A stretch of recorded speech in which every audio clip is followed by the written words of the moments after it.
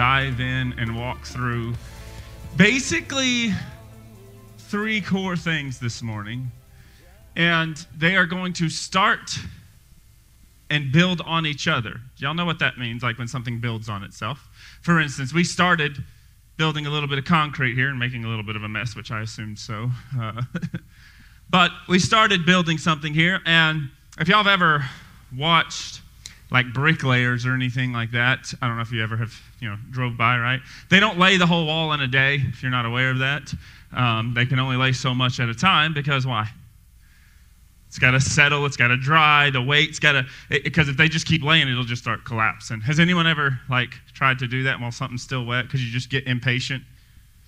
Does anybody? Yeah, yeah. Now I want you to think about that in your own spiritual life. In a moment, you try to absorb so much new stuff constantly, and none of it sticks. And so, some of you, like when I began talking this morning, because this doesn't count. When I begin speaking this morning and starting in on this, you're going to think, well, I've heard this, I've heard that, I've heard this, so on and so forth, right? But the question is, is, is it sticking? So why we keep going back is because just like bricks on a wall, you lay them all out and you do maybe do two layers. Guess what you got to keep doing to finish out a wall? You got to go back and work on the same wall and just keep going. Y'all know?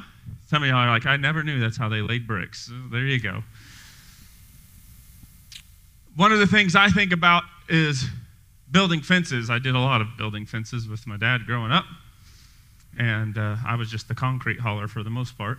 Um, yeah, we didn't have, you know, all the little ATVs and all these, you know, put it on a trailer and drive it out there. We just drove the truck and had to unload it. I remember this one particular fence that we built was out uh, near Oakleaf, uh, in Oakleaf, I guess, rather. This is just a funny story. It has nothing to do with This is how you rednecks get water out uh, of the back of a truck. Do you remember this, Dad? We were in your Chevy. He's like, You're about to tell something. Yeah. We were in this little Chevy truck. This is back when you had your Chevy truck. we had a big horse trough full of water. And it, there was no water out there, so the only way you get water is you got to fill it up and take it to the back of the truck. So you know what we did? Well, he did because I was young. Threw the sucker in reverse and slammed on the brakes. Guess what that whole giant thing of water does? Just goes, and half of it ended up on the ground.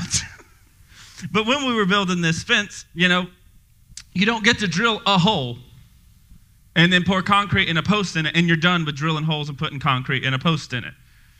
This one fence had somewhere, what, about 300 posts or so, clear across uh, probably close to 20 acres or so, building fence. You know what?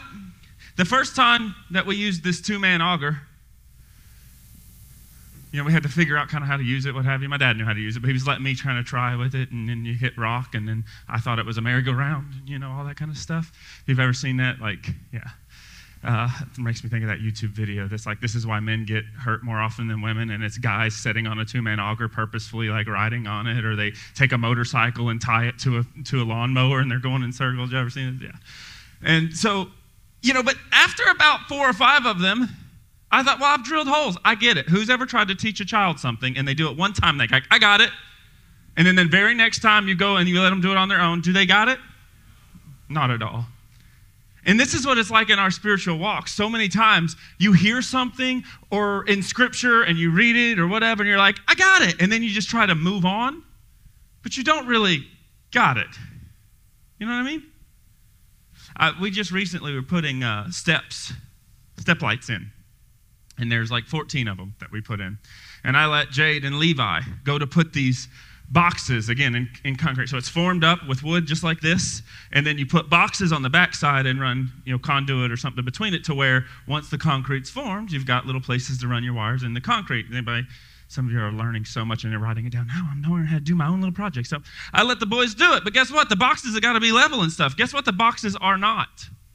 Level so we had to buy really big lights to cover the mistake but I showed him how to do the first. I did one, you know. All right, you see how you do it? You use the level, you do this, I did the next one. All right, you got it? And then I looked up 30 minutes later, and on the first light that I just got him, even though Levi convinced me that he has got this, And he could explain it to me, and so could Jade. And Jade got a little bit further along than him. They even knew what the drill did, how to use the drill. They got that. But when it came to actually holding the drill, who's ever used a drill before? Who remembers the first time you ever used a drill? And you're like, they just made it look so easy. Why, why is it going? Right? But you know how it works. You, it's simple. You just put the screw on the drill, you push the drill, and it goes in. That's what it looked like when they did it. But when you picked up the drill, the weight of the drill sometimes kind of, I don't quite know how to do this. And then you don't quite know exactly how to point it. And, and if you've ever messed with something like, like the, a, a Phillips head bit and you've got it just slightly off, what do you do? You strip out the screw. Has anybody ever stripped a screw before? and what is that? You know how it works, do you not? But yet, just when it comes to doing it, you haven't quite done it enough that it can just be kind of second nature, as it were. You ever thought about that? Now, apply everything, every analogy that I just used, apply it to spiritual things. You can hear something like Romans chapter 8. You can get it in your head and you perfectly know how it works. But when it comes time to execute on it, to use it, to do something with it, it's kind of like wobbly and wompy and you strip out the screw and then it's all stuck there and it's just a mess. And so what do you do? You try to call someone to come out and fix your mess. This isn't even, I haven't even prayed and started. This is pure off the cuff, not even a part of my notes. This is just to help you understand, apparently. See, I had an experience when I lived on Lassiter Road. This is all construction stuff because I fancy myself some sort of a construction guy. Uh, and as we see, I'm a messy, not very good at it guy. Uh, Now, I decided we were going to remodel a bathroom in this old house, and it all had copper tubing. And I was like, well, I grew up around welders, and I can solder and everything like that. Sweat and pipe ain't that much different. I got this. And so we tore out the bathroom, and we're doing the stuff and everything. And then there was a cast iron tub in this place. I don't even remember how we got it out of there. But I remember we just got it to the front door. And fortunately, someone drove by and said, Do you want to keep that? I said, No, take it. I can't get it any further. And they took it. But as I was remodeling this, there has become a new rule in the Thompson household, which is we do not do our own plumbing. Now, I've started to convince my wife that PVC plumbing is, and, and PEX is quite different than, than sweat and copper pipe. But, anyways, I'm putting this valve in and I think I got it at least three times. I've sweat the pipe. It looks proper. I mean, I've even sweat pipe on AC units. This shouldn't be that hard, but it's in a wall. And I, I never quite got the back. And every time I'd kick on the water, y'all know what happened? So about three parts later and everything like that, you know what we had to do? Go hire someone to get this job done. It cost me way more than it should have. It took way longer. And from this point on, give or take 14 years later, it is still a thing that if there's plumbing, Taryn says, you're not going to touch it. Now, I say that and we're laughing, but think about our spiritual walks. We try to do something because we think we, we, we got it. We don't find a use maybe for the fellow believers beside us, or we haven't quite exercised it and kept practicing on it on the daily. And so, thus, we seem to see a whole mess of things. And then what do we do? Call somebody to fix it. But y'all know the problem? Y'all don't call the right person. Y'all call the preacher. Y'all call someone else who's just as much struggling as you are with it. Instead of calling on the one that can show you how to fix it. Now, that was all free. It's not going to be on your bill today. It's comped by the house. But this is what our spiritual walks are like. Like, now when I think, again, think of this drill scenario, everybody in here has rose, risen their hand and said they used a drill before. I was doing the project again. I'm going to use 50 billion analogies till I see heads starting to come alive before I dive into what we're about to talk about. See, I was hanging some uh, racks in our garage just recently with Levi, and he got how to use this drill.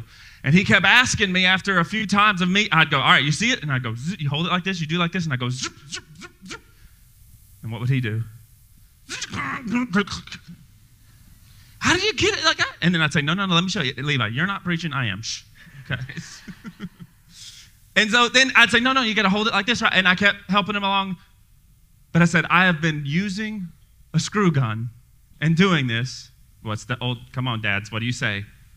I've been doing this Longer than you've been alive. I love being able to say that now because I, I heard that for so long. I said, I've been doing this as long as you've been alive. I couldn't even count how many screws. I've, I've done this so many times, day in and day out. I didn't do it one day and then wait seven days and then t- let me pick up a screw gun and try it again. Every single day. I don't think probably for at least six years of my life that I did not pick up a drill. I did not do it every single day. Can't tell you how many fingers that I put. I actually put a screw straight through my finger one time, putting a plenum together for an AC unit. And then I had to reverse the drill to pull it back out. I've got bruises and scars to prove I have now learned how this actually works. And I can feel when a drill's about to go, and I go and move my hand out the way. Now, again, apply all this spiritually. If you're thinking just about drills and stuff, this is what it's like spiritually. When we only pick up our spiritual lives and walks every once a week in a blue moon, even maybe only like once a day or so, or it's going to take us an immense amount of time to ever get used to what it's like. Not only that, when you're really needing it, when it really needs to be done, you're not going to quite know how to use it. And so this is where we are. So let's pray and jump into this. Sorry. I love how he just said this pray, and all the guys took off. The, anyone that was a guy that had their mask on took it off like it was a hat. Like, just watch that happen. Sorry, I could. Yeah, y'all gotta have some fun. God's a fun guy, by the way. If you're not aware of that, uh, he's not near as boring as you. All right, let's pray. Father, we're here together, and we say thank you. We say thank you for what you've already been ministering this morning, from before we even gathered together.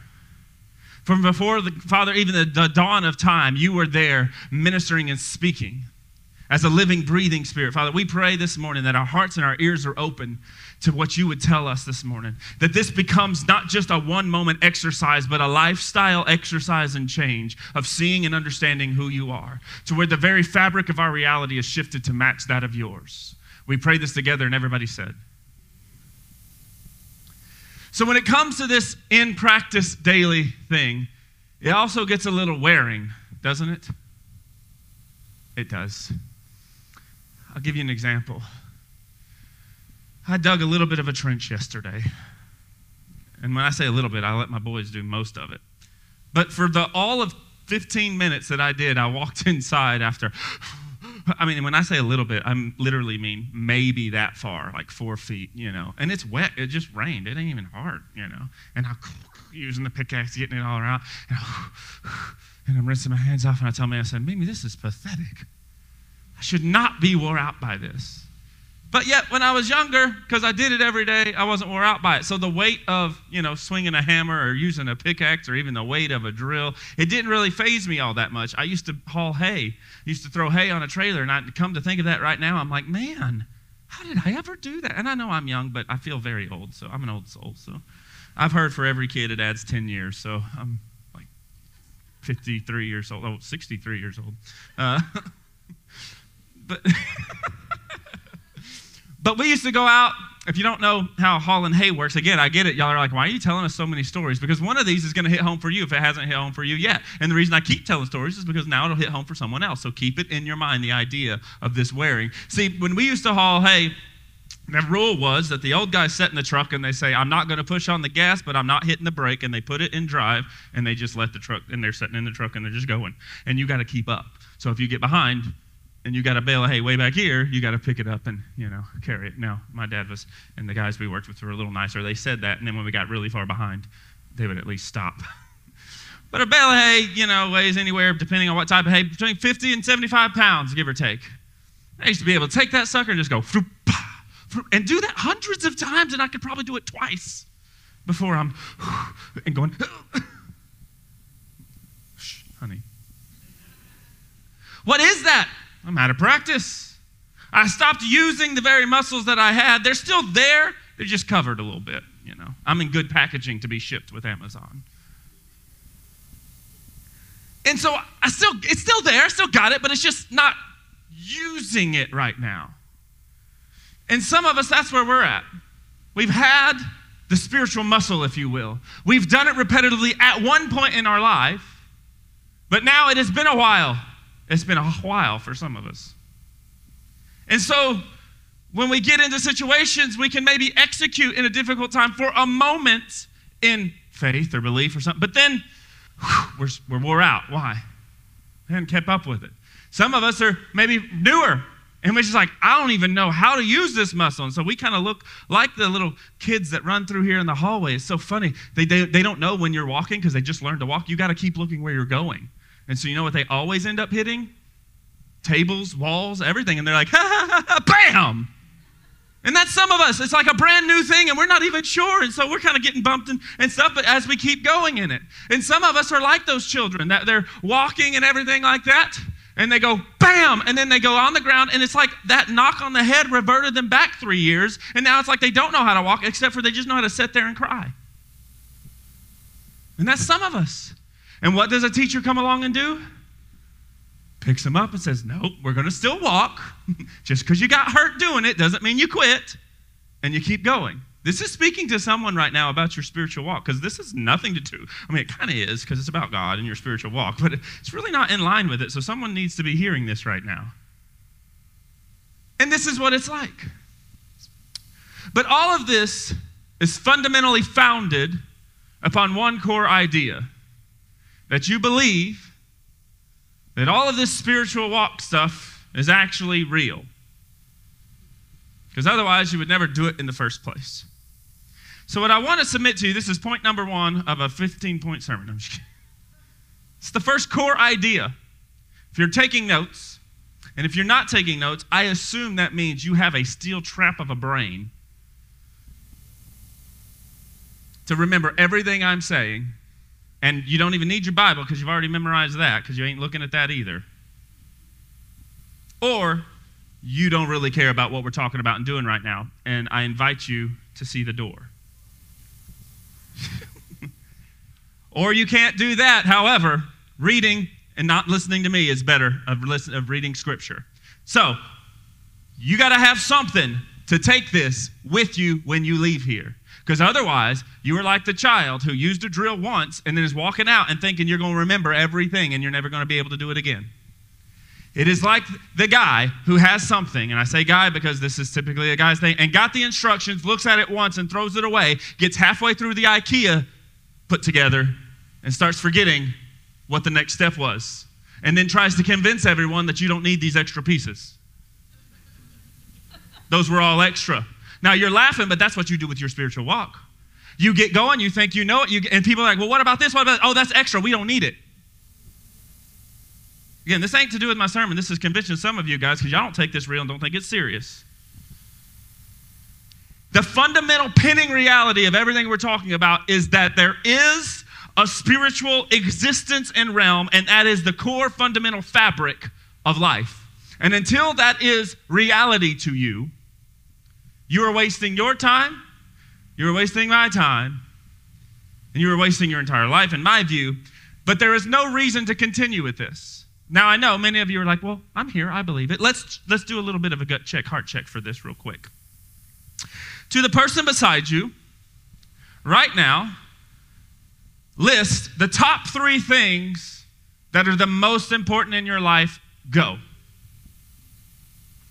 Top three things, just boom, boom, boom. You can't blanket it and be like life itself. No, you got to be specific. What is it?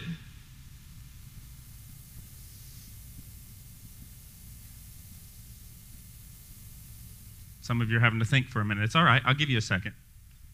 Tell that person beside you, what are the top three things?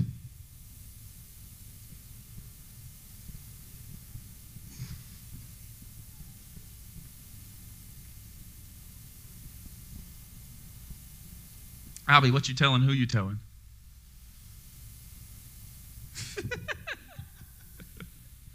All right, now, everybody got your three things? Or one or two at least? All right, now, tell that person how that what you do to show that is the most important thing. Tell them what you do. Tell them how much time you spend in a week on that thing that you just called the most important thing.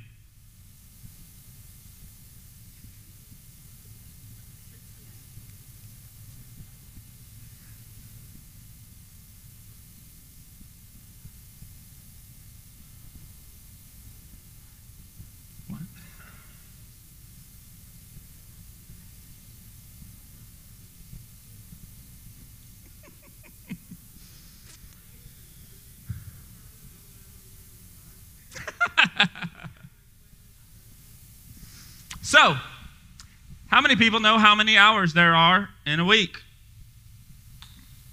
There's 168. Now, do a little bit of math if you've got your paper. If there's 168 hours in a week, on average, most people will sleep anywhere from between 8 to 12 hours a day. Everybody's like, who are these people? There are some people that are sleeping a lot for some of us that don't sleep all that much. so let's just let's just say that out of a 7-day week, 68 hours of that is gone. Just so we can work with a good round number of 100 hours of awake time. Okay? Give or take. You know, again, we're being a little liberal with this, but it's easier just to do math in the tens. Uh, yeah.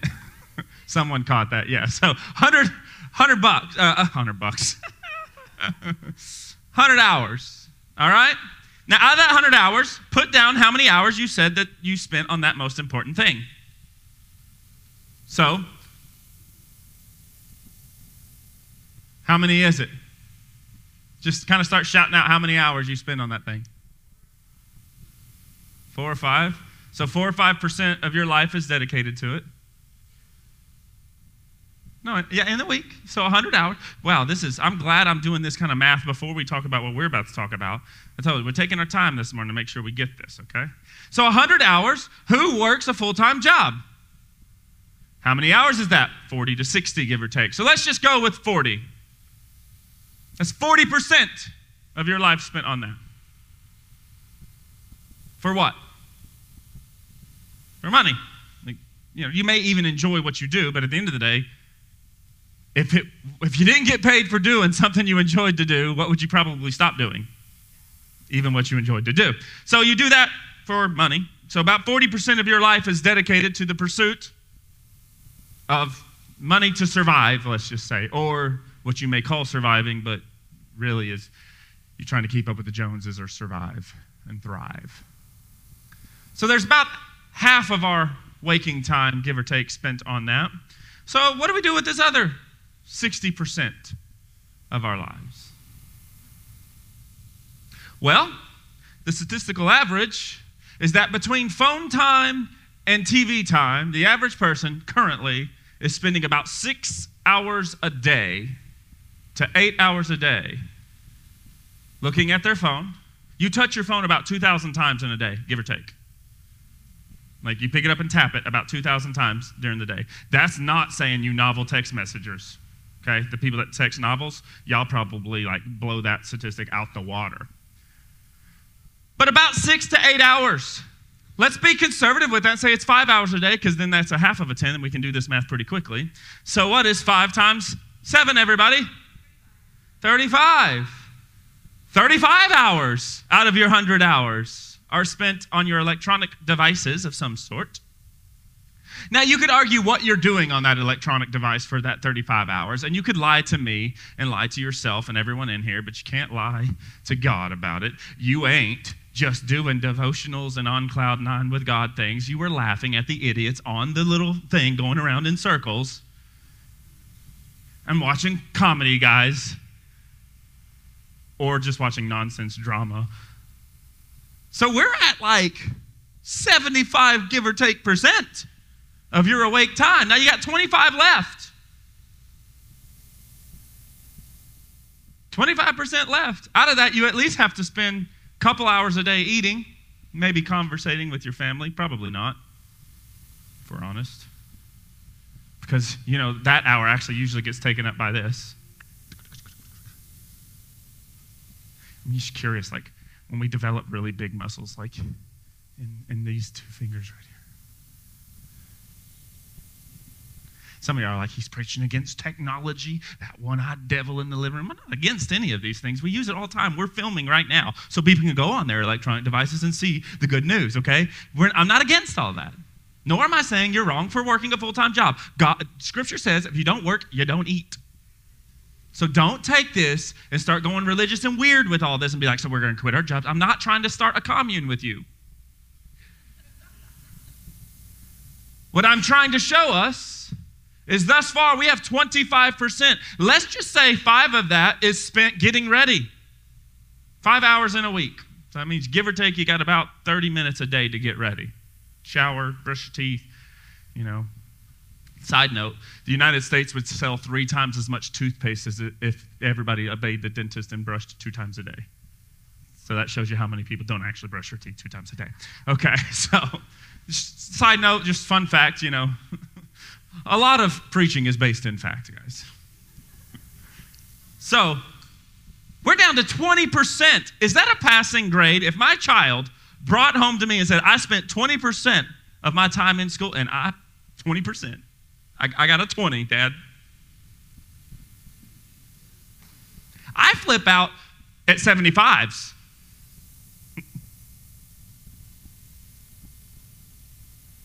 Y'all didn't like it this rough? Because, see, most of you who, come on, be honest, it's always good to tell the truth, definitely in the house of God. How many of you, the first thing on your list was like God, family, something like that? Raise your hand. Now, out of the things I just said, how does that add up? Now, unless you're going to gaslight somebody with how 20 is now a passing grade because of the grading curve, It seems to be the opposite that God or family even rises to a primary thing, seems to be quite secondary or even tertiary, which means third or lower. Now, here's the kicker Scripture is filled with the idea in which, while you're doing your job that takes up 40 hours of your week, it can actually be spending time with God. Actually doing other things in life can actually contribute to this spiritual walk idea. But tell the truth, shame the devil. It really ain't all that much, is it? So we have to quit gaslighting ourselves I'm just using that term because my son was saying, I was like, where'd you even learn that term? Like, I know that term. He's like, it's a popular term. I'm not I'm aware of this. Oh, you know what I'm going to do next week, guys? I'm just going to give him the mic and we're going to see what we learn. 20 bucks says he goes silent after about five minutes. so, so, mom saying no. So when we look at this.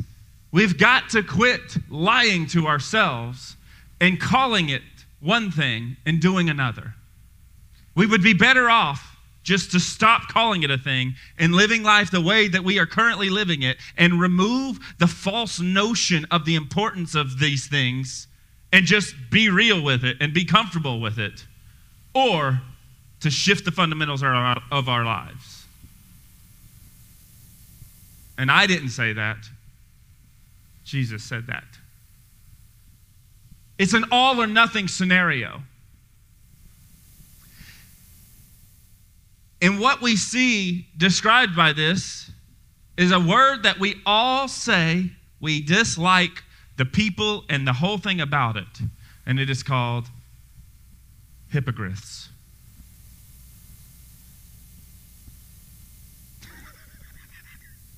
Hypocrites. Only the Harry Potter people got that. Hypocrites. Who doesn't like a hypocrite?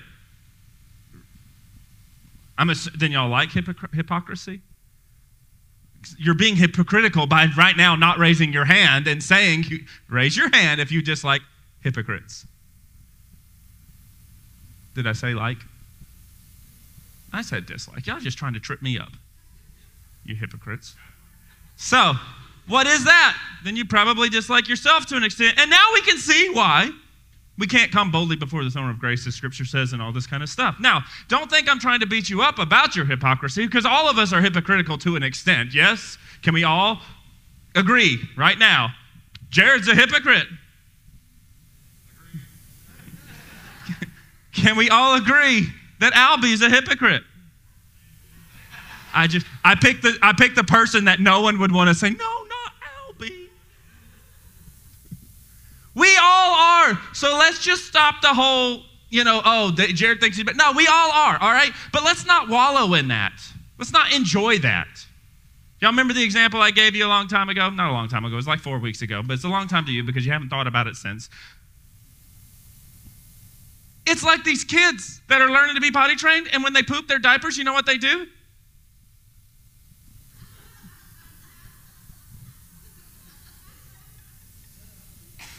You know what the really nasty ones do? And they're playing in it.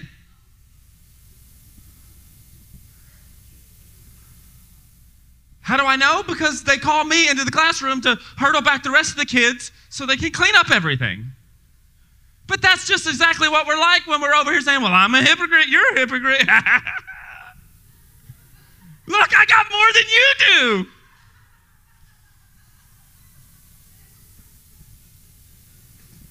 Now we're all laughing, thinking how gross that is, but that's your spiritual life, guys. Until we begin to say, Yeah, that happens. I'm being potty trained too. But I'm not going to play in it. Now, how absolutely disgusting would it be right now if anyone in this room, because I'm looking around, everybody's potty trained in here. And we've and we got Jonathan over here playing in his crap.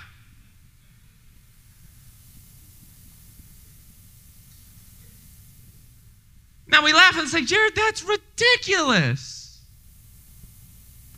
But like the person who has lost the muscle, they had it at a time, here we are, adults in need of potty training. Paul puts it this way He said, Hey, I'd love to talk to you about spiritual things, but you're so naturally minded and you're so much enjoying all this nonsense that I can't even talk to you about those things. You need to grow up. Yeah, you, you, need some meat. You need some real stuff. You need to have some real conversation. You need to have some real thought. But I can't. I got to give you milk because you're a grown up baby.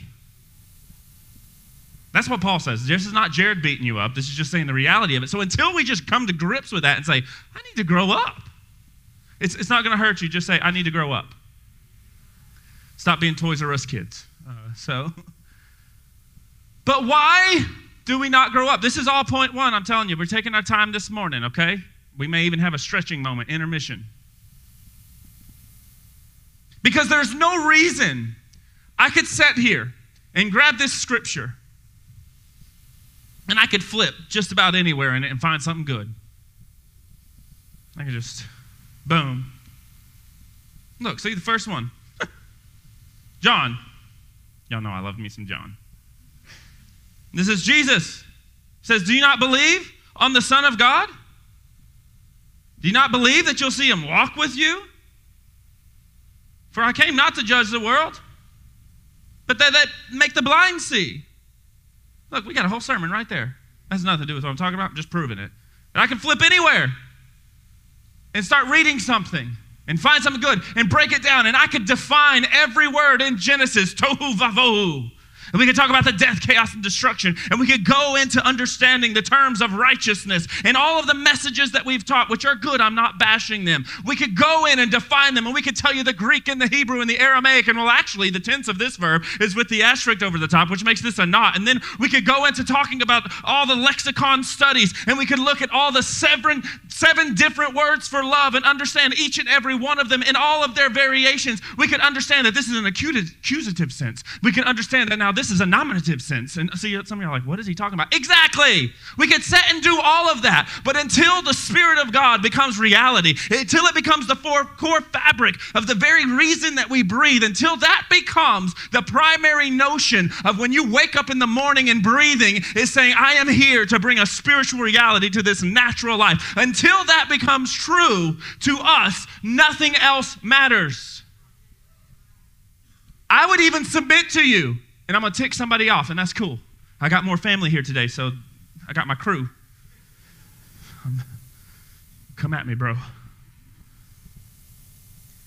Jesus doesn't make sense to you and is not important to you until that is true. You can't get Christ until you know there's a spiritual reality. The world we live in today and the world you live in, keep your mind in today, not exercising of the spiritual things. The reason you can't get Christ, you don't understand it. How could it work? And he becomes quite secondary, tertiary, and I don't even know what comes after that. But way down the list is because there is no spirituality to. Jesus was just some peasant guy that lived sometime, died on a cross like the other 6,000 people or more that died on the cross within 30 days for the Roman Empire. They really loved crucifixion. And then we just kept learning about it. Matter of fact, he may even be a myth.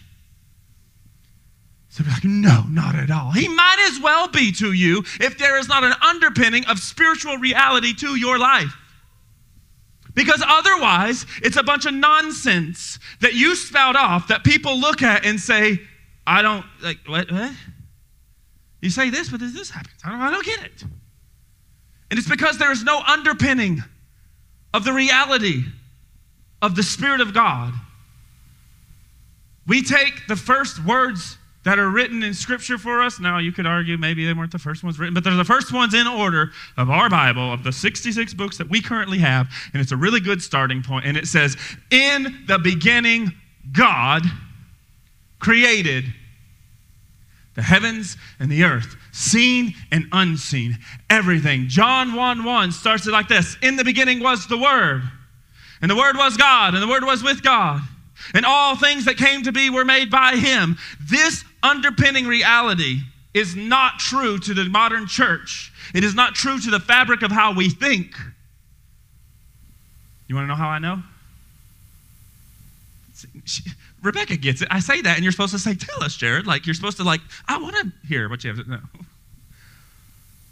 I know this because we take things and we look at a natural situation, we approach it naturally and think we can fix it naturally instead of realizing that the underpinning of all of that is spiritual. If the Spirit of God created all things, what is more true than natural? The thing that created it, that would be spiritual. So there is nothing that currently exists that cannot be in some way, shape, form, or fashion boiled back down to understanding the Spirit of God. Scripture itself says that all of creation is given to us that we may see and know the glory glory of God. You're supposed to be able to walk around. Your mind is supposed to be so set on the things of God and understanding the fabric of this reality is based in spirituality, is based in His Spirit, who He is. So much so that you walk outside, see the trees, you don't worship the trees, you say, Wow, how did God do that? Science came to rise because of that. Do you not know that? You don't know that. Let me help you out with that. Science is the word knowledge. Okay, that's all it means. So all of you like trust the science is trust the knowledge. It just means knowledge. And God is omniscient. Omni, all, science, knowledge. Omni, science, all knowledge. Science came to be because people that believed in the Creator said, I wonder how He did that.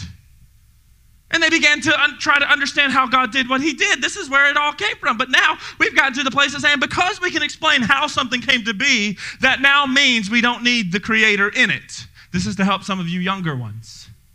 Actually, it's to help all of you because some of you say, no, no, we believe. But then you turn right back around and say, do the exact opposite, so I don't buy it. That would be like saying, because we can explain the creation of Jade, his cells, and how they culminated together, we do not need Jared and Taryn to bring about Jade. We explained how Jade came to be. There was a cell and there was sperm and all this stuff happened together. And so we've explained how it works. We don't need Jared and Taryn. That's about the logic that that makes. Now you say, oh, well, that's not me because I believe God did it. I don't believe in that evolution stuff, whatever. Now apply that to other areas of your life. Shall I just, shall I do it? Honey, shall I do it? I'll do it. I'm just, I'm not going to beat around the bush. I'm going to whack the bush in the head. You look at your this is the primary thing currently in our day. You look at your anxiety, depression, loneliness, and you try to say, well, this is where it came from, and you try to form factor away in the natural to come up with an explanation for it instead of, and so you say, so I don't need God in it, I've got this, I've got this other solution. The claim of Christianity is that there's a fundamental problem with our world and, and with humanity. Who would agree? There's a fundamental problem. The claim of Christianity is we know the solution, singular, one solution, and it underpins all of reality. But yet, what do we do? That solution is not good enough. Oh, no, it's good enough. No, it's not because we come up with other ones. This is all point one, and it's not in my notes. You know, all I had written for this was establish the reality of God. And this is where we're going with it. until we get this. Underpinning every bit of it. One solution. And now let's listen to the modern church. If you need to fix your marriage, here are the seven points to gain a better marriage. And God is maybe point seven, if that, or the honorable mention at the end.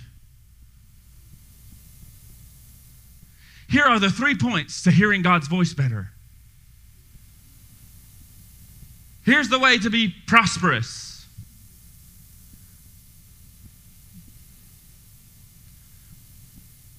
Now, I have not read every single book ever written, so there may be some people that write books about that and whatever that actually are tied to the understanding of Christ directly, not indirectly, not subsidiary. Like, like you want to you want to write a great book? Here's the best book ever. You want to fix your marriage? Christ at the center. Book done. Why is that not enough? Because when we bang our finger from using a drill, when we hurt ourselves, when we whack the table from walking and not looking, and we're sitting there now broken and hurting, we don't run to God. We run to another man who's just as broken and says, Well, I think I can get a good, yeah. All right, here's the seven keys to understanding the spiritual mysteries of the faith when that book says there are no more mysteries. Christ revealed them all. If you don't know that, that's actually scripture. So we, we're sitting here claiming, if y'all aren't aware of this, I'm telling you your actual faith. Like, or what should be rather your actual faith. The claim of Christianity is that all of this world's natural side is underpinned by the Spirit of God, the very thing that holds it together. How? I have no clue. Doesn't really say, just says he does. And spirituality is the underpinning nature of it. And with that, we chose to go against that. And so now there's a fundamental problem in humanity and in the world. And because of that fundamental problem, Christ came, and Christ is the singular response solution to that. That's the claim. So, how much do we do a disservice while claiming Christ and claiming the Spirit of God? Do we actually do a disservice to it when we constantly point people somewhere else? Now you see why prayer is taking a back seat in the modern church. It doesn't sell well. This is the underpinning nature. And when that becomes real, now the good news, the gospel, becomes something that it's a bubbling, it's a bubbling, it's a bubbling. No one knows that song? I'm singing and shouting since Jesus' name. It's bubbling, bubbling, bubbling, bubbling, bubbling, blah, blah, blah, blah, blah, day and night. Maybe I spend too much time with kids, guys. But the good news of Christ does not compel us in any direction in life except for a few hours on a Sunday, maybe. And that's mostly not because the good news has compelled us, it's because you've been browbeaten to think that's how you get closer to God. Is, that, is this too much? This wasn't even where I thought I was going today.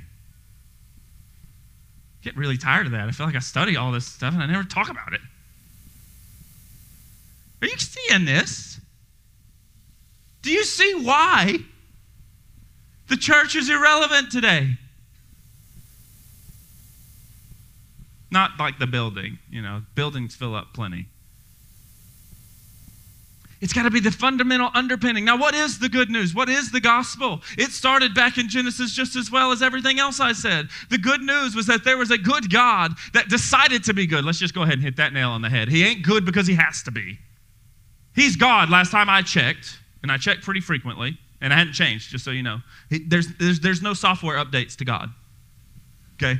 It's not like a bug fix you know, and the New Testament was like kind of bug fix 2.0. God was a little mad. Now he's not mad anymore. It's the same God from the beginning to the end. He ain't changed. And what he decided was from the beginning, when he saw, y'all, look at Genesis It does not say, in the beginning, God created the heavens and the earth, and there was all good things already, and so he just said, let's just keep going with this. It says, in the beginning, God creates the seen and the unseen things, everything fundamentally fabric together by Him. He's controlling it all. And He says, This is chaos and darkness and nothingness, and I'm going to take it and make it something awesome. And then He says, I'm going to do that, and then I want to partner with one of my creatures. Which creature shall I choose? Maybe He should have chose ants. They're harder workers than us. But instead, he could have chose actual sheep and he probably could have got further along. Uh, but instead, he says, No, I'm going to pick humanity and I'm going to make them very similar to me. They're going to have the same capability as me, this power of choice to choose and to do. And they're going to be my image and likeness. And what I want you to do, humanity, is I want you to take the good work that I've started, all this, taking that, and, take, and I want you to now go continue my good work. And I'm going to set you up in this one place that you can see exactly how it works, what it does, and what you're supposed to do. And then you just make it bigger. Just keep going with it. Kind of like me putting in the step lights. I'm going to show you exactly how to do it. And if you need me, I'm right here. I got this.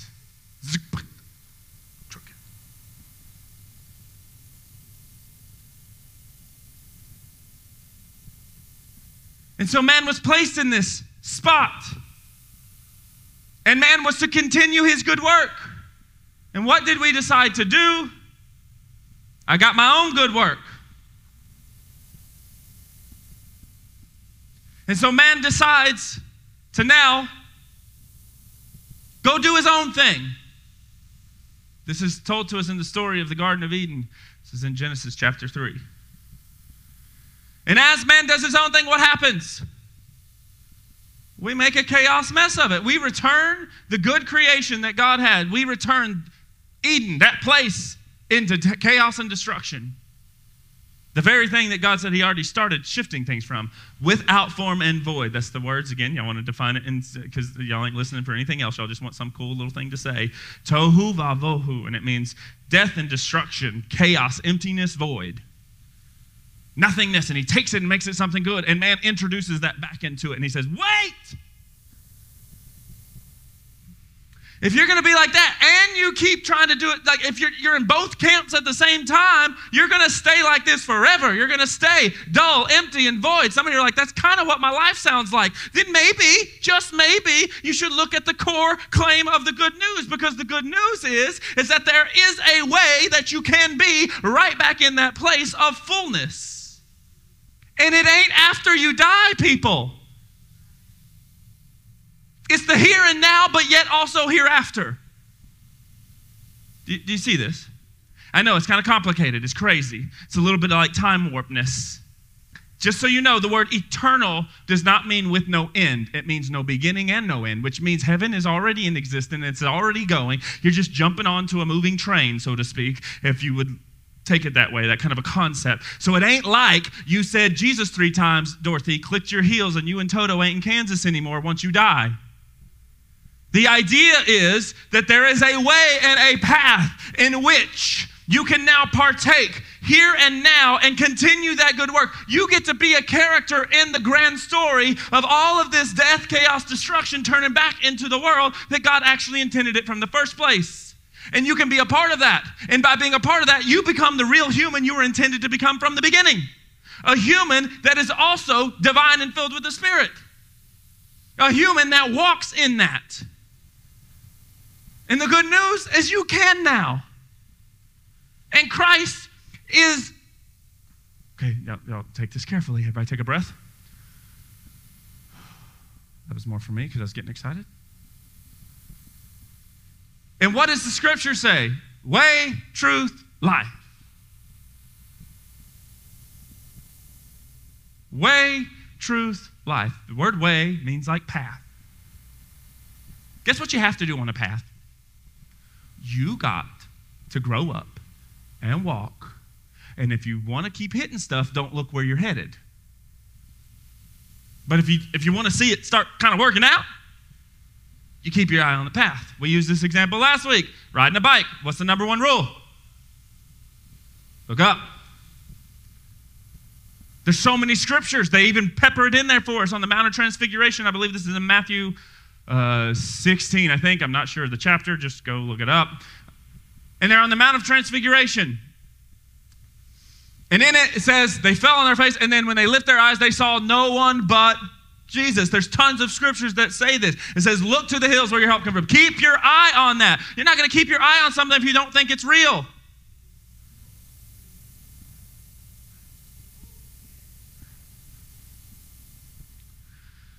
Y'all remember when I tricked Albie, made him think I cut a door in that wall? If you were here. Convinced Albie, he was sitting kind of roughly right over there. And I was acting like it was an illustration. I said, Albie, look, see the door. Remember, y'all remember this? And he was like, ha, ha, ha, ha. I was like, no, Albie, there's a door there. I'm doing an illustration. I need you to go and, and, and, and open the door. And even someone on the other side of the room said, oh, I see it. There was no door. Albie gets up. What does he do? Oh. And he goes, sets back down. Did Albie keep staring because he think there is really a door here? I know there has to be. No, because he knew it wasn't there. And that's your spiritual walk. You walk up and say, uh, it doesn't really look like it's there. And you just walk away because it's not there. So you don't really think it's there. So you don't continue on. In comparison to that door, you can see that door. And guess what? You're going to walk at it. We love to play jokes on Annalise because she's terrified of spiders. This morning, we're walking into the donut store, and Jade says, There's a big spider right there. And Ann goes, Ah! And then Ann, and Jade puts his hand up her back like that. And she looked just for a moment and then goes! There's not one there. And then moves on. That's you guys spiritually. You come in Sunday, you look at Christ for a minute say, Whoa! But it's not real, so you leave it. You only keep your eye on something that you think is real and there. If someone had an imaginary hammer doing this, they don't have to keep their eye not to hit their finger because it's not real. If I have a real sword, everybody's eye, especially for Bryce, I'm not going to swing it at you, bro. He is really looking at this sword because it is real. I mean, I think it's pretty, that's actually pretty sharp. That's not mine. I'm glad I tested that before I did some other illustration, maybe with it. Why? You only keep your eye on something if you think it's actually there. It says, So I'm the way. Keep your eye on it. It says, Truth. I am the truth. This is the truth. And then life. This is where we get the idea of eternal life. Not just that there's a life after, but eternal life. I, guys, I said this yesterday, and this is my, my most fun thing to say. I am eternal. I'm not going to die. Now, let's clip that, put it on YouTube, and let's see how many likes we get on that. Pastor says he is now immortal. Yes, but guess what?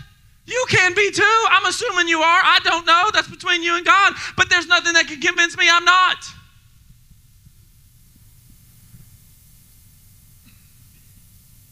It's got to be fundamental. And Christ says, I got you. But what did Jesus do? What did Jesus do? Let's just look at the difference. God, this is not, I don't know what. Let's look at the difference in our approach to Christianity and Christ's approach. It wasn't called Christianity back then, they were actually just called a follower. Then they later, some of them were called disciples if they were directly disciples of Jesus. And then later on, the term got coined Christian. Funny thing was, guess who started it? Not the Christians. They didn't run around claiming, we're just like Jesus, come look at us. It was other people who observed them and said, hey. But, anyways, let's look at Jesus' approach. Jesus' approach, we may not get to this. Jesus' approach was, hey, follow me. And I'll give you real meaning to life. That's, I'm paraphrasing it here, but I'll make you fishers of men. I'll take the thing you do and make it something really worthwhile and eternal. And he says, So, say a prayer, repeat after me. Our Father who art in heaven, hallowed be thy name. Oh, wait, wait, I haven't taught y'all that yet. We'll do that later. He says, Do you believe you're a sinner? Yes, you are. Okay, cool. You believe in me? Yes. All right, awesome, cool. We'll catch you later, next Sunday. That's not the story, if you're aware. The story is hey, you want to do this? Let's go. Follow me. Drop what you're doing. Let's hit it. Come on. Every day, all day. Let's go. How long? Till we die. When are we going to die? You soon. You got a little bit longer. Me, a little bit sooner than all of you. Now, how starkly different are those two approaches? One, hey, is this real to you? I'm real to you? Yeah, I am. Let's go. Well, what about this? Don't worry about it. She doesn't even get so bold and something. Let the dead bury the dead. I mean, this dude is kind of crazy. What's our modern approach? Just say the prayer. Make sure you fill out the Connect card. We need you on our email list. And we'll talk to you on Sunday. Free coffee, yeah. And we'll catch you later. Just let us know if you have a problem, and we'll direct you to some resources. And Jesus says, I am the resource. I'm not going to send you away and elsewhere. I'm going to bring you in. Look at the difference. So I'm sorry, I can't quite say that I'm like Christ yet, because my approach is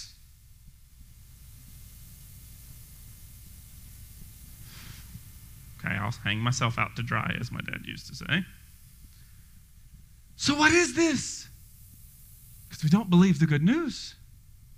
We don't believe we're a part of it. It has not captivated us to understand that we can be a part of this. Well, it hasn't captivated us and we're a part of it because we don't believe it's the fundamentals of reality. There's a great statement that was made a long time ago. If God is who and what we say he is, and Christ is who and what we say he is. It can either be of absolutely no importance to your life or of all importance. The one thing it can't be is of mediocre importance.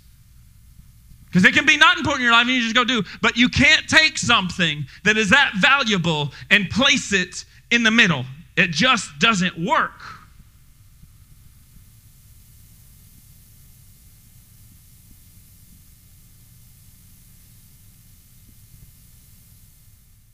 In Romans 8, we were reading it last week, is one of the best verses, or chapters rather, that really edges in on this idea.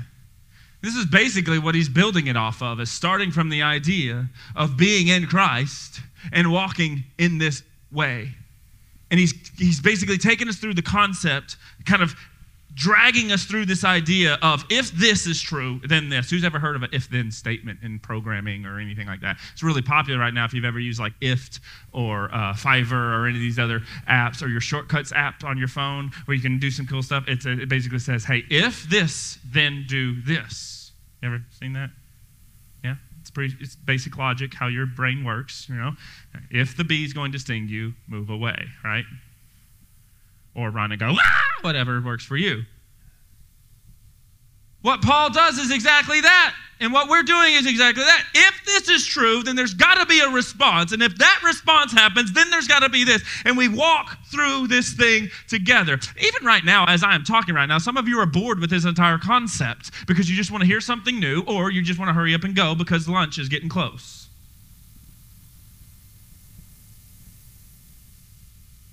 Some of you are thinking right now, Jared just likes the sound of his own voice.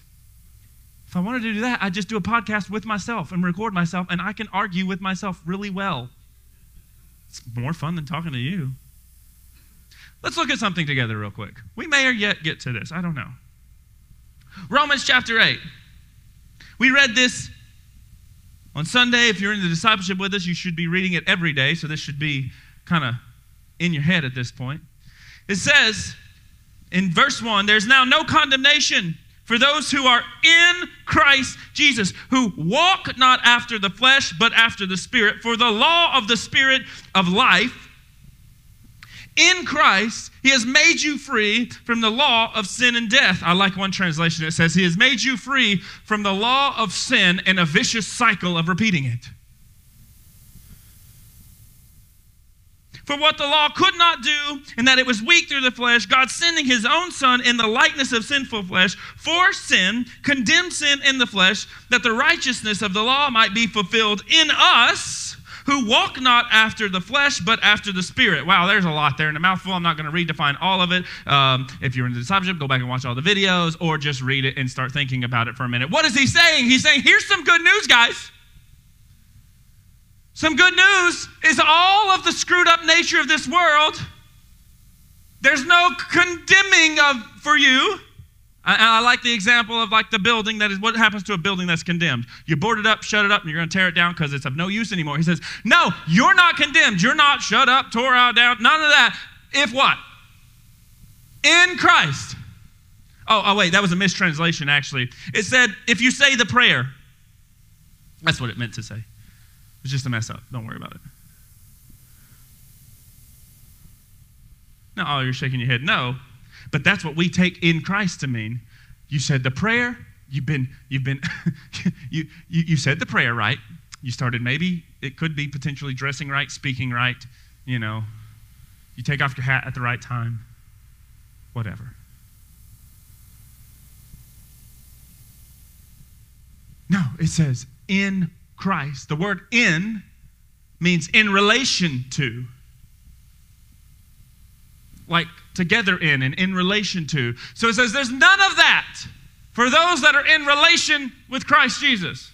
What relation would that be? Well, there was 12 people that kind of helped walk that out a little bit. Jesus showed us the relationship with God that we were supposed to have. And those 12 people, that while they're still human and screwed up a lot, yeah, that's like, uh, a, it's a lot with a loogie in it, like a lot. A lot but they did show us what that relationship looked like. And it was called what? A follower. Meaning he goes, I go. He don't go, I don't go. If he tells me to go, I will go. If he tells me to stay, I will stay. When I chop somebody's ear off, he'll help fix it and tell me, hey, don't do that anymore. But I'm in relation.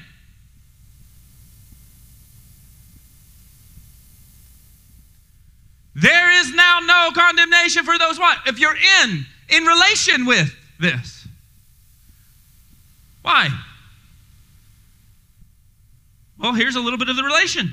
You walk not after the flesh, but after the spirit. okay, cool. then what does it say down here in verse 4? For the righteous law be fulfilled in us who walk after the flesh, or not after the flesh, but after the Spirit. Verse 5 says, For they that walk after the flesh do mind the things of the flesh, but they that are after the Spirit, the things of the Spirit. For the carnally minded is death, but to be spiritually minded is life and peace. He's saying, Hey, good news. The death, chaos, and destruction that you guys entered into the world, you you get in relation with Christ, that ain't applied to you. And not only that, let me tell you what that relationship is. It's a follower of Him walking after not the things in this world and looking at that as the fundamental structures of reality, but rather looking and walking after the things that are which are spiritual. Now, we had a divine spiritual, we'll get to that in a minute. But then he goes on to say that he says, For those that are after the flesh do mind the things of the flesh Wait, I thought it was those who are after the flesh, have sex outside of marriage, they drink too much, they wear weird clothes, and they also are just nasty people that we don't like. Am I getting, like, this is not deep, guys. What does he say? You mind the things of the flesh. Notice that's an internal thing that none of us know. Right now, none of us know what any of you are thinking. I have guesses about me shutting up is probably one of them. But notice it's an internal thing in which is between you and there's only one being that knows the intent of the heart or knows your thoughts God. So notice what Paul does is drives us straight to this idea of your walk in relationship has really nothing to do with your immediate actions outside of your life. It has to do with your internal life. You know where he got that idea from? Jesus. He said, So if you're looking at the things of the flesh, your mind is going to be set on the flesh. You're mindful of them, you think about them, you care about them. But he says, Those that are walking in the Spirit, their mind is on the Spirit. I have found more, this is this is to help somebody if you're right, taking notes and writing this down. I have found more utility, meaning more usefulness in my life by simply one internal prayer, which is every time I get into a situation, I don't do it all the time, but I'm working on it. So all right, I'm a hypocrite, you're a hypocrite. Let's not point fingers and play with our mess. Let's get let's get going and grow up. I try. This is just a simple internal prayer. God, show me how any of this is spiritual. Show me you in this. Show me how to be you in this. Show, show me what this is supposed to do. I don't get it. I don't understand. And that's the end of the prayer. And then I just repeat that until God shows me something. The idea of being mindful of the things of the Spirit, if you believe it's the underpinning nature of reality, you will approach every situation towards saying, How is this spiritual? If it is not, how do I bring it? Everything. You know, the crazy thing is, it's a lot of fun. It's like a grand adventure of trying to figure out the true meaning of everything. Who likes scavenger hunts? And they're so popular. Everybody loves scavenger hunts. Who loves escape rooms? You're trying to figure out how to get out of this stuff. It's like life is a giant puzzle of how do you make it all fit together and make sense, not just for you, but for those around you. And if we approach things and think of things spiritually, but we don't. We look at something in the natural and say, well, that's just natural. It's just real life over here. And then there's the spiritual stuff over here. And it sets quite separate from each other. And at some point, I do some things that reflect the idea of I'm a better person in morality and blah, blah, blah, blah, blah. Jesus did not come to teach you morality, that was already done. Jesus did not come to say, Let me teach you how to live a good moral life. You already knew that. Scripture says God wrote that on your heart. Jesus came to show us the real meaning and manner of life. And guess what happens after that? Morality is a part of it. Instant, instantly. Is this too complex for some of you? Or too boring, maybe? He says, being mindful of it. And then what does he say in verse 6? To be carnally, the word carnally is like to be naturally minded of the things. He says, that is death. He says, what? To be spiritually minded, what is that? That's life. Let's break that down real quick for you guys. To consume yourself with the things of this world is to end up in death, chaos, and destruction. Please pray, do tell how, Jared. I have to live my life. I've got to make money and have my job because if I don't, I won't get the new iPhone 15 and it may actually unfold and flip like the Androids and it'll be so cool. If I don't do that, I can't have the fastest internet speed. And you know how much I need no buffering in my Last Kingdom episode? Now, again, I'm being a little bit playful with it, but I got to think about these things. Sure. But it's how you think about these things. Why is it death? Well, let me help you out with something. Death comes when something comes to an end, yes? So, what happens when a tree dies? It's because the life of that tree has now gone. You have a pet or something and it lives and then it dies. So, what is death? It means to come to an end. Yeah? Fair enough? This is simple. There is nothing in this natural world that survives and is eternal. So, thus, you think of natural things, it will come to an end at some point, no matter what you think about. Your life comes to an end. You think about your own life, it's death. Like this natural life, death. You think about your job so much, guess what happens? Who's ever gotten a new job? Who's ever been forced to get a new job? That's a polite way of saying being fired. Uh, who's ever quit their job? I remember when I worked for Apple, my mind was on the things of Apple constantly. They do a very good job at brainwashing you. Still to this day, it has been over 10 years since I've worked for Apple, and people still, mom, call me and. Still call me and say, Well, you're the Apple guy. It's like it's been a decade. You know how much stuff happens in technology in a decade? I have no clue. Ask Caleb. Why? Because my mind were on these things. And people say, they, yeah, yeah, he knows. But guess what? That came to an end. And I remember when it came to an end, my wife and I even had this conversation. I was like, I feel like I'm betraying this because like I was so ingrained in it, and now it's an end, and I kind of didn't exactly know how to cope with that a little bit. It's death. It'll come to an end. So Paul says, you keep your mind on those things and focus on that. You're, that is a recipe for disaster because it will all come to an end. I can't leave this one alone. We're going to have half made concrete. And I'm going to have to do it again. Uh, that's the concrete guy. Yeah, why weren't you up here doing all of this from the beginning? You know, you should have showed up. Uh, so, look at it this way. One of the biggest problems in our current society, and that means in us because we're a part of this society. So do not try to play the fun game and excerpt yourself out of it. Okay? I'm going to give you a little bit of like, it's going to sound like I'm against technology and stuff again, but I'm not. Remember the Apple guy 10 years ago? I love technology, it's cool stuff. Okay? The current issue in our society could be basically boiled down to a moment that gives me a certain particular feeling and when that is gone, I must retrieve it again. Comes to an end. Natural minded, death. This is expressed in how things like TikTok. Who knows what TikTok is? Who uses TikTok on the regular? Anyone under the age of 40, because Ryan's there. Uh, no.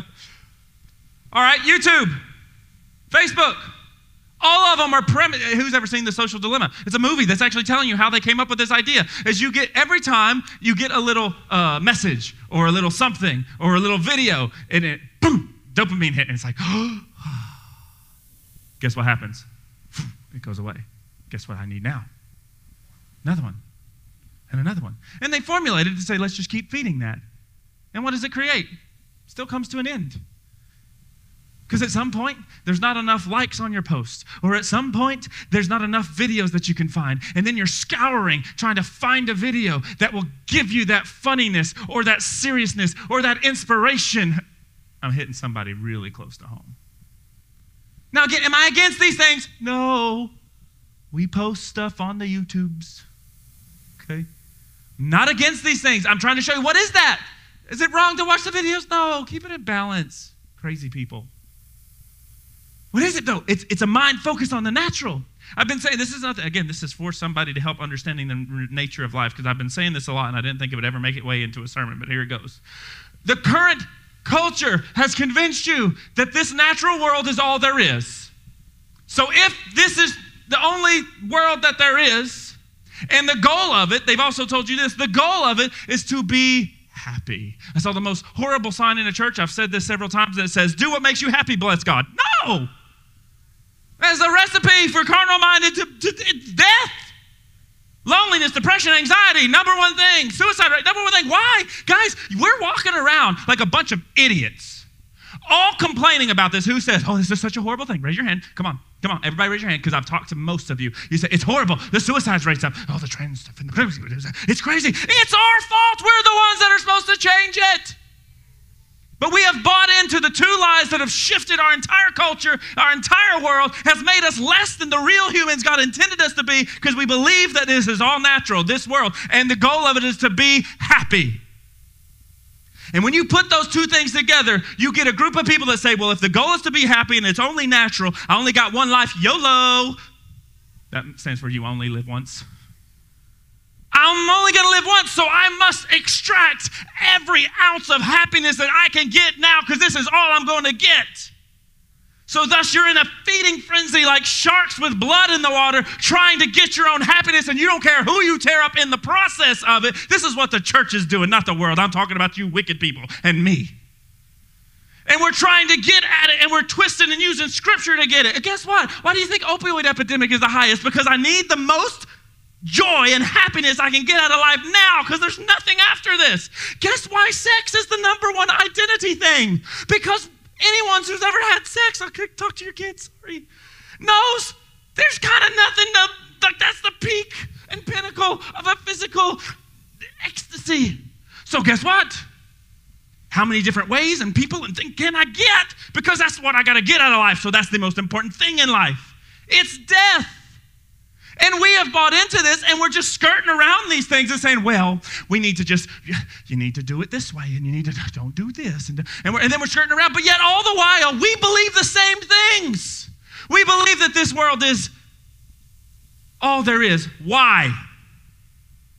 Because we don't believe the gospel, we don't believe it is underpinned by the spiritual realm. And it's evident in the mannerisms that we think about life and we do life. We live life for this one, and thus it ends in death. And we wonder why we're still dealing with the same levels of depressions and anxieties and loneliness and everything else. And it's because you think this is all that there is. And then you think your job is to get happiness out of it. The interesting thing is, is that when you learn, I believe by having children, it helps us see this. I think that's why God gave us children, is I actually am starting to find more happiness in watching my kids enjoy things than I even do when I enjoy it.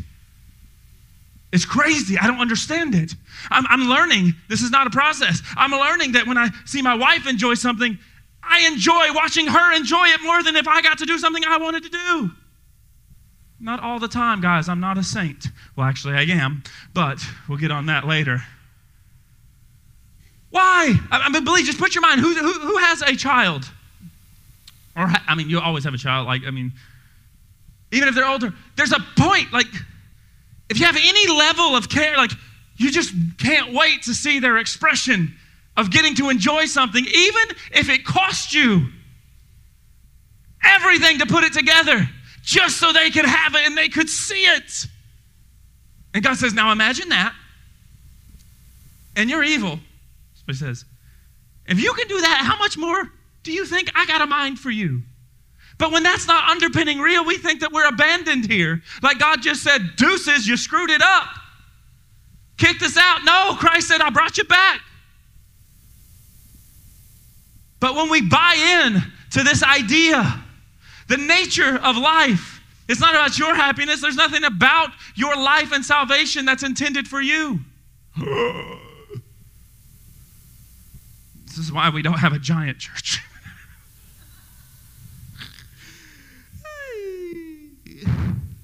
It's not. Well, don't you think it's a little bit about me? Not if you're following after Christ. That was the purpose of Christ. Christ said, You want to see how to be a real human, like the thing I made you to be? You live so far outside of yourself, nothing about you, nothing about your life is even for you. But yet, in that, complete fulfillment. Complete fulfillment. That doesn't make sense. I know it's crazy. But yet we see glimpses of it here and there in our lives, but we breeze past them because they make us uncomfortable, because they also make us realize if that is the nature of life, I don't know that I'm following that. And that's the idea of a saint and a sinner, by the way, guys. The word saint and sinner basically the same term, just in reverse meaning. Sinner literally means one who is committed to sin. What is sin? To miss the mark. What is missing the mark? Not following Christ, period. Because the way he did life, who he was, what he taught, his bringing us back into that. He says, now follow me. That's the path. Anything other than that. You know, I don't know about you guys, but I think it would be very hard if I said, describe. I'm trying to find this thing. What is that? It's a tub. Five gallon aqua something. It's got stuff on it. It's a container. Describe it by telling me about everything else in this room that it's not. That's the lunacy of trying to tell someone about all of this missing of the mark instead of saying there's just one mark. Let's go that way. I don't have to define everything else for you. I just got to define the one thing for you. If you had to describe that, and try to get someone, it would like be like playing charades by describing everything in this room and saying, I'm trying to get you to guess blue water jug. By saying wood paneling. Don't, don't have wood. It doesn't have wood paneling. It doesn't have a fire alarm. It doesn't have a light on it. It doesn't have a camera. It doesn't have an exit sign. It doesn't have a. Uh, you, do you see the lunacy? It doesn't have electronics in it. It's not a guitar. It's not drums. Do you see how far I could keep going? And all the while, I'm not seeing the thing itself. Enter the modern church, we don't see Christ because we're not following after. We're so busy trying to define what all the non missing in the mark says, just define the path. And Jesus said, just to help you out, I am it. Let's go. But it's got to be underpinned, otherwise, it's not.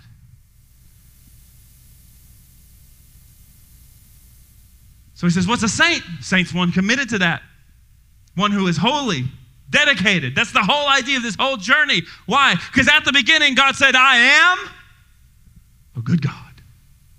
That's what I'm going to be. Now, with the foreknowledge of knowing what that would cost him, he still said, Yeah, I still want to see good things. And yeah, I still want to use humanity. Whoa! Guys, that's crazy.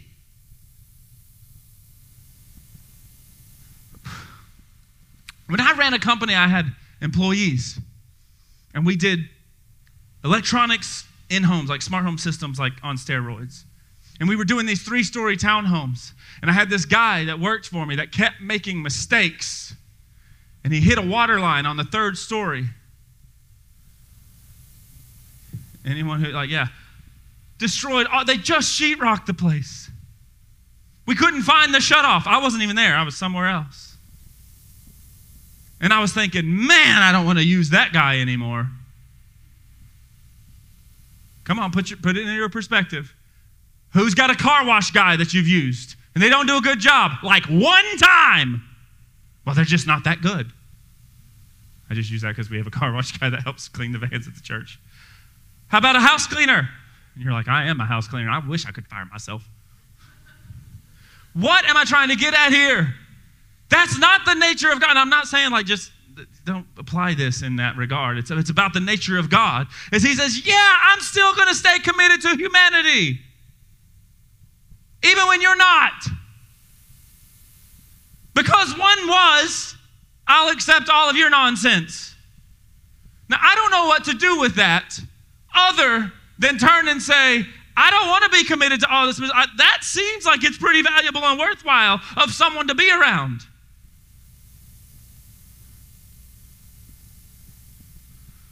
That would be a pretty easy going. Like I'm telling you, the nature of God and how awesome He is. And Christ made that and showed that possible, made it able for us to be accepted in that. That is a crazy thought. But here we are, ungrown up adults. And all of Scripture is trying to get us to this idea of you walk one way or the other. You can't be double minded. It's all or nothing. And I know that is not what you've thought, and that's not what we want it to say. We have story after story, marriage being the primary concept of this idea of commitment and no other. And Christ has called that for us. I do want to share just one little piece about the armor of God stuff, and we'll just save this for another week, but I just want to share one piece. Is that cool? Let's go to Ephesians 6 10.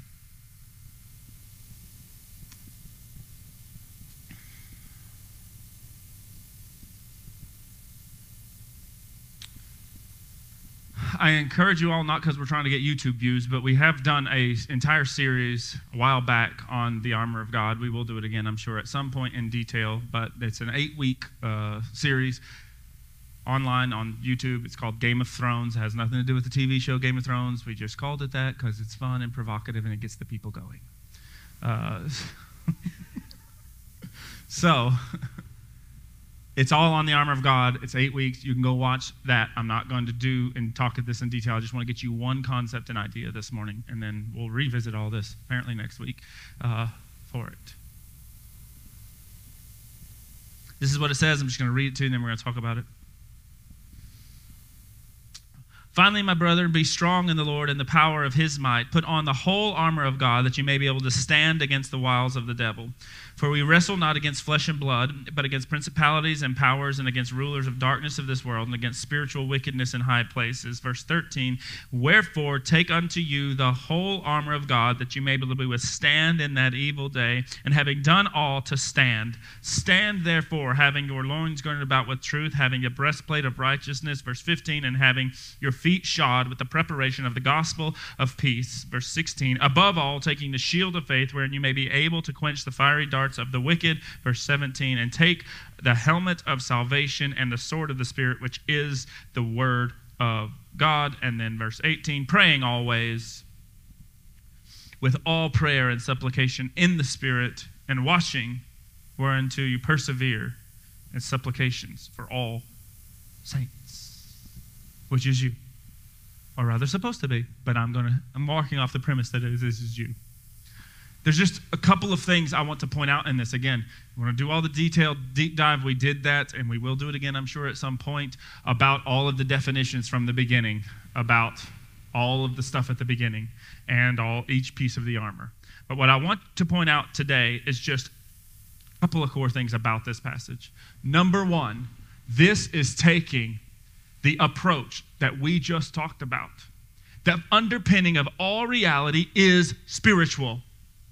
How do we know he's taking that approach? Finally, my brother, be strong in the Lord and the power of his might. So, not your might, but his might. Put on the whole armor of God, which also seems to be metaphorical. Okay? There's not like a real armor of God. Okay? Even though we have real armor as, a, as, a, as an idea. Okay? It's not real. Everybody say it's his metaphorical armor. Okay. People get weird that you may be able to stand against the wiles of the devil, okay, like an ambush. For we wrestle not against flesh and blood, but, and then he lists a bunch of things that are all spiritual ideas. His underpinning of nature of what you're actual wrestling with and problems in life are not actually natural problems. His view of life is the same view of life that Christ had, where he said, actually, all the issues in this world stem from a spiritual place. And all of the issues and problems and things that you're wrestling against, being is that you're a believer, and being is that you're saying you're a saint and you're following this thing, there is nothing in this world that you're dealing with that is not fundamentally founded and that you're wrestling against that is not actually a spiritual thing. Whether it be wrestling within your own spirit or outside of that, you are wrestling with spiritual things. Every single thing in your life right now, if I had somebody, I pro- you probably couldn't even fit three. You probably have like a hundred problems in your life. You could probably list a hundred problems in your life faster than you can list a hundred great things in your life. Couldn't you? Tell the truth, shame the devil. Raise your hand if you probably could. Why? Naturally minded. It's death. It ends. You're focused on those things. So, what does this say? He says the underpinning reality of this is what you're actually struggling with spiritual things. Whoa. That means every time I come to encounter something, what I'm actually wrestling against is a spiritual thing. Now, some of you are going to go weird with this. And I'm going to use something kind of somewhat outlandish, but I'm sure someone actually has done this. Actually, I know people have, sad, sad to say. Who's ever got a flat tire? It's the devil, Bobby. You get a flat tire, and you're out there on the side of the road. This was the devil, and I'm wrestling against the devil, and he's trying to make me late for work. No, you didn't change your tires. Which actually we need to do, honey. Uh, all right, now I know that's a little bit crazy one. But how about you're dealing with someone at work or situation or whatever it is, and you're looking at it, and what you do is you take that scripture, twist it to your own mechanisms, and say, ah, this is happening to me because something's coming against me. No, that's not what he's trying to say. Let me help you out with this. What he's saying is every situation is underpinned by spiritual. And what you're wrestling against is are you going to be the spirit in it or are you going to complicitly be a part of the enemy? That's your choice. It's not you're actually wrestling against the actual thing, you're wrestling against how you respond to it. You're wrestling against whether or not I'm going to be a saint and stay in this, or you're rather wrestling with whether or not I'm going to start missing the mark and be a part of it. That's the wrestling. Do I stay the path of Christ? Not because I'm trying to do the right thing and earn my way to heaven, but because I am here and a part of this grand story. The underpinning of reality is the Spirit of God, and He chose humanity to bring that about. And so, what I am wrestling against spiritually is when I step into this, am I going to bring the Spirit of God and be Christ to the world, or am I going to be a part of this? That's what you're wrestling against. Now, He doesn't leave us hanging. I'm almost done, promise. Well, actually, I'm not, but for today, we'll hit pause. Tune in next time for more really long, screaming, yelling preaching. It's not what we're battling against. Everybody say, it's spiritual. And he says, so take the full armor of God. This metaphorical thing. What does armor do? Protects you. Protects you from what? Not bad things happening, but that the bad things that are happening don't affect you. Whoa, it's a crazy idea. Guess what? If I put on this helmet again, what does it do? Bryce can't hit me with that ginormous sword. Where'd you even get a sword that big? It was bring your own sword day, by the way. If I put this on, don't hit me hard. If I put this on,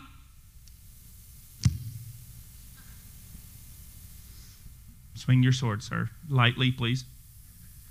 Does this, that is so long. that is. Can you like, freedom and throw? Okay. So, does this stop that from hitting me? But what does it do? It makes my ears ring. No, it protects that when it does hit me, it does not affect me. oh. The same way that it did, it may affect me a little bit, but it doesn't affect me the same way. And the better my armor is, the better it won't affect me. You see that? I was going to let him actually hit me, but that is. Okay, still in my face.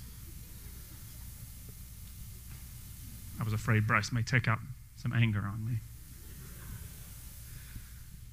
What is it saying? So, the idea of the armor is that something around you, something with you that God has given to you and sharing with you that does what? Protects you, not from the things not happening, but from how you respond and how it affects you.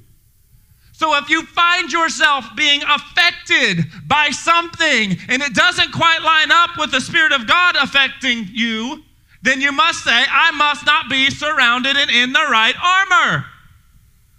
Good Lord, I'm going to hit somebody's head. Yeah, they used to say step on your toes. I think I'm going for the jugular right now. I am going to share this really, really roughly, but it's because I love all of you and you're like my family. Yeah, we're church, we're family. Okay, so I am so tired of hearing everybody tell me how bad a situation is and how they want out of it. No! Be happy, count it all joy when suffering comes. Why? Because I get to put on the armor. I get to be the one that brings it. I get to be a light bringer in this situation. Look at it as an opportunity to say, Whoa, more chaos. How do I bring some order to it? No one thinks that way. No, because we want to be the victim, and it's so hard. But Christ says, You're more than conquerors when you're what? In me, in relationship with me. So be over here and look at it and count it all joy and say, This is another opportunity for someone else to see the Spirit of God, for someone else to get Christ. This is the opportunity that the kingdom of God prevails against death, chaos, and destruction. And you want to know why it's not? Because the church ain't doing it. And guess who the church is? You. Do you want to know why you ain't doing it? You don't think Christ is real because it doesn't underpin your reality. Pentecostal is coming out with a high pitched voice, like I feel like a little Michael Jackson with it. Ah, I don't know. Uh, do you see this? Christy's having to gather herself. well, I was going to go, but I can't dance at all. Do you see this? Isn't that a fundamentally different way of looking at life? Isn't that's what Christ did, guys? That's what he did. Everywhere he went, you're blind? No, we're going to bring some order to this chaos. Oh, you're a leper and everybody's running away from you? I'm going to run to you and I'm going to show you. I'm going to touch the unclean thing and they're going to become clean because everywhere I go. And he says, Whoa, that same spirit, that same power is supposed to reside in you. So why are you running? Oh, because it's not real.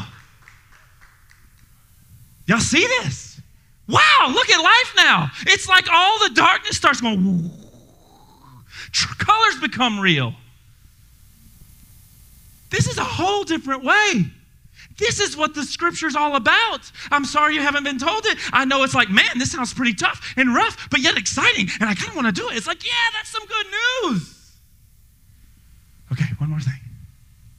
What does he say? So then he says, This armor that surrounds you, that protects you, eh, the way that you, I get to bring it. It doesn't affect me the same way. It's my opportunity to respond. And then what does he do? He says, Now let me share, share with you what this armor is like. Like, everybody say, It's like this. Not literally this, similar to it. It's the concept, okay? What does it say right here? Take the whole armor. Say, Hey, the whole thing, bro. Say it. Say, whole thing, bro. Seeing my dad say bro is kind of funny. Notice how many times he says something. Verse 13, let's start. Wherefore you take on the whole thing, bro, the whole armor of God, that you may be able to withstand in the evil day, and having done all, stand. And then what's the start of the next one? Stand. Therefore, having, and then he listed all. There's a lot to do with standing, staying in this place. Hint, hint. Like concrete being formed in the image of God. Christ says, You're there. The only way you get out of it is if you choose to walk out of it. So therefore, stand in it. Stay in it. Stay in the armor, in the protection to where every time that you react, you bring more of the kingdom. Stay in it. Quit running around and running amok. The example of this in Scripture, we've talked about a lot. What is marriage? A commitment to one person and no one else that you are supposed to what? Stay in it, in a relationship forever. Meaning there's no way out. And the only part that's different in your natural marriage and the one with God is until death do us part. But if you're eternal, there is no parting. Do you see this? So he says, stand, stay in it holy, dedicated, consistent, like a saint. Turn to the person beside you and say, I'm a saint. Oh, that doesn't roll quite off the tongue as much as I'm a sinner. Well, maybe you should focus on spiritual things instead of natural things. I'm a saint. Uh oh, remember this? We said this last week. Saints doesn't mean you never mess up and that you are perfect. It means you're committed to it. We said it this way every saint has a past, every sinner has a future. He says, I'm going to be a saint. And so then he gives us these things. He says, It's like this. Let's, let's talk about them real quick. What's the first one? Having your loins girded about with truth. I'm not going to go into extreme detail, but the idea is what does a belt do? It surrounds you. Yes, it holds your pants up. The idea of the belt was that it surrounds you and it helps take some weight off of some other parts of the armor. But the idea that it carries in Scripture is reproductive things being protected. So let what you reproduce be truth. Okay, so it says that's the truth, surrounded by truth. What's the next one? We're just going to go through them real quick. Breastplate of righteousness. What's the breastplate? Covers your chest, heart. What is righteousness? Right standing. Keep this in the right standing because the only way it comes out is by you choosing to. What's right standing? Well, like Christ, because I'm following Christ. What was Christ standing? Humble, committed.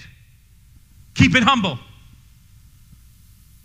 What's the next one? I'm getting these are very, very brief. Feet shod with the preparation of the gospel of peace. What does it mean? The word shod means to be tethered to or tied to. I think of putting on shoes on a horse because see, it's not like your shoes, our shoes we take off. When you put shoes on a horse, you like nail it into their feet and they don't come off all that easily. And then I think of a tether ball.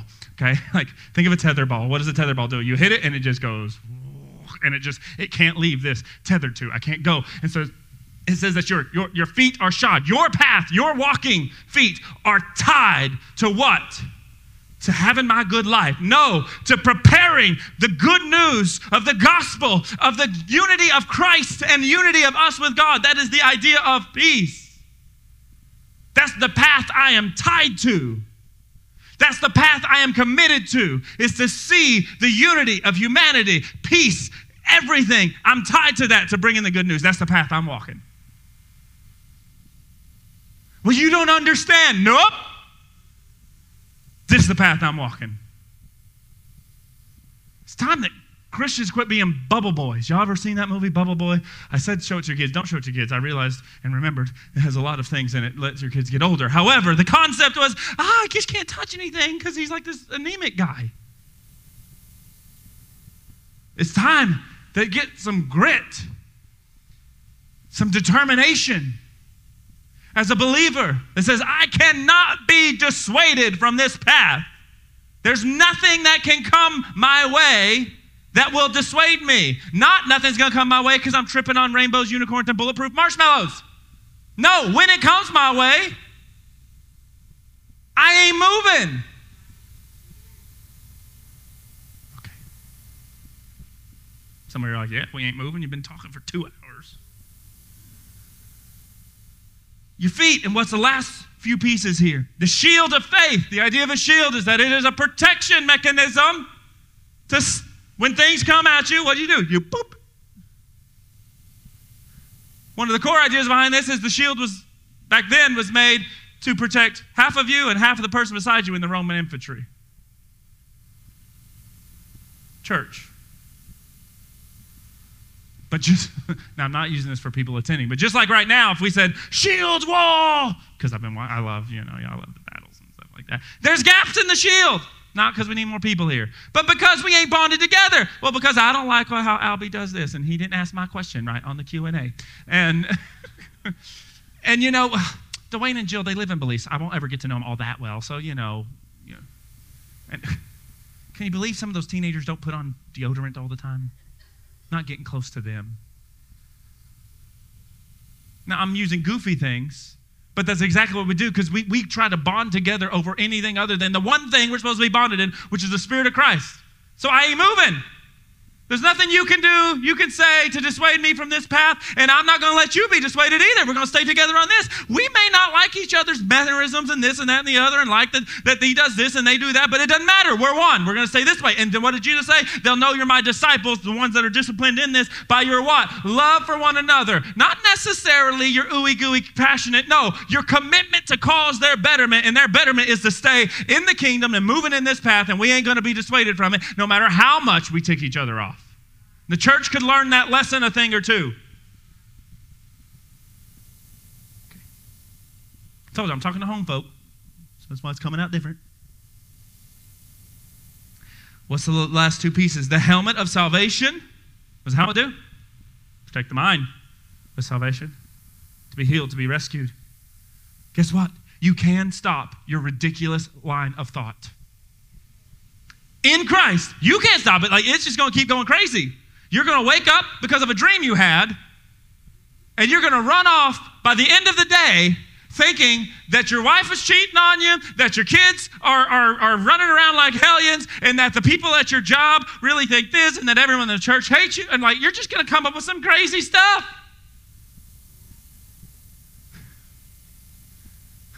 James. Why? You can't stop it but in Christ you can. What does in Christ mean? In relation to how he did, how he thought, well, he, I'm going to stay here. And what does that require? My internal life has to be shifted. Okay, what's the last one? The sword. The sword of the Spirit. And then he says, just in case you're not really aware of what that one is, which is the Word of God, which, guys, guys, guys, listen to this very clearly. They weren't talking about the Bible. The Bible, in its compact form like this, did not exist at the time this was written. Now, the Old Testament scripture did. Some of the New Testament writings were there, but they were not compacted together. So when he says the sword of the Spirit, which is the word of God, what he is referring to, which is the truth spoken word and yes, some written word, but is the speech and the mannerisms and the replications of who God is. And it happens to be written on these pages, but it is also supposed to be in you.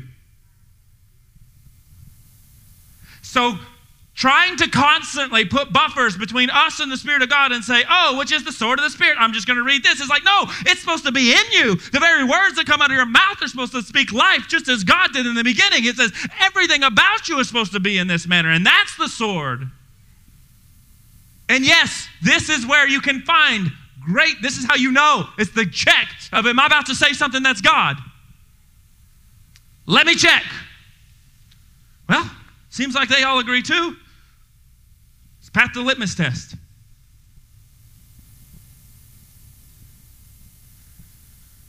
Leave it alone. Okay. Let me show you how this works together, real quick.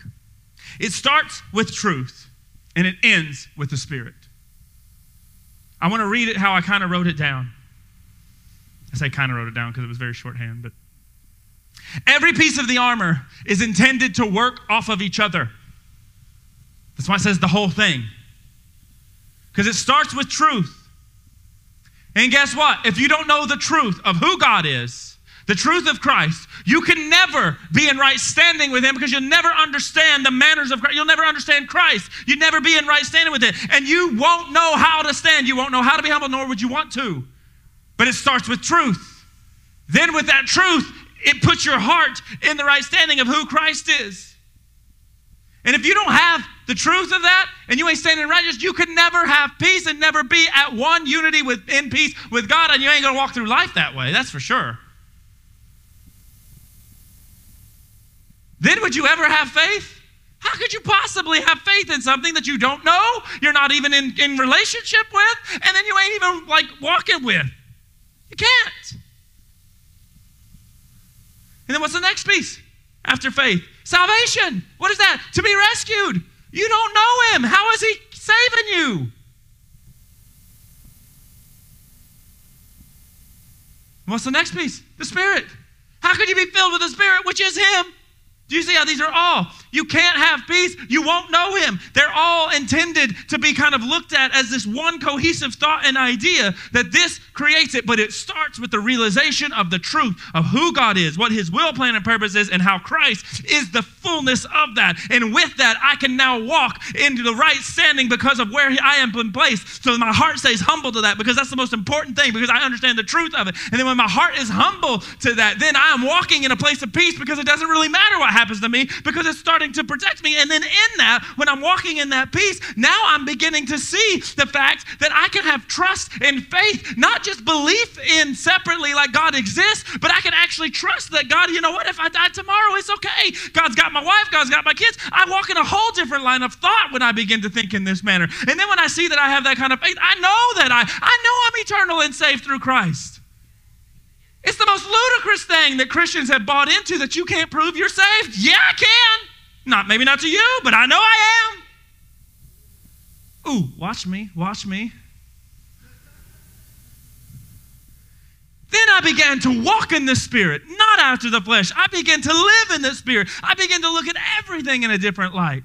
And it ain't the weird, fake religious walking in the Spirit where I just quote Scripture on every other occasion because it makes me feel better. And I just tell somebody the nonsense that is not backed up in Scripture. Well, that wouldn't be happening to you if you come back to church. No! I don't need them to go somewhere else to get the gospel. I am going to live and breathe the gospel. I walk them straight to Christ. Will it be in one moment? Nope. God ain't in a hurry. Maybe it's in 10 years from now, but I ain't going to stop. If God didn't give up on you, you don't give up on whatever project He put in your way. Because hands down, I can guarantee you, you start walking in this path, what God is going to do is place people in your life that He says, now, you're being a disciple of me, you walk them to me and stay with them in this process. Hint, hint, the first people he does that to is your family.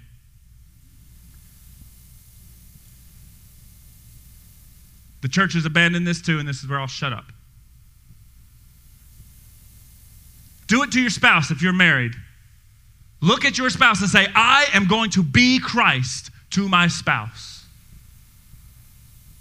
Oh, that struck a rough nerve right there. It's about to get harder. Be Christ to your children. Even when they don't live in your house anymore, so don't try to get out of it, you buffering people. Trying to place things. Well, they don't live in my house.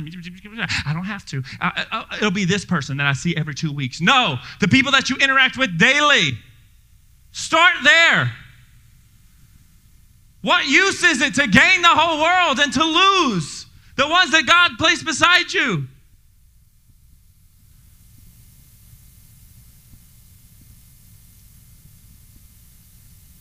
Families bonded back on a home level, Christ as the central point.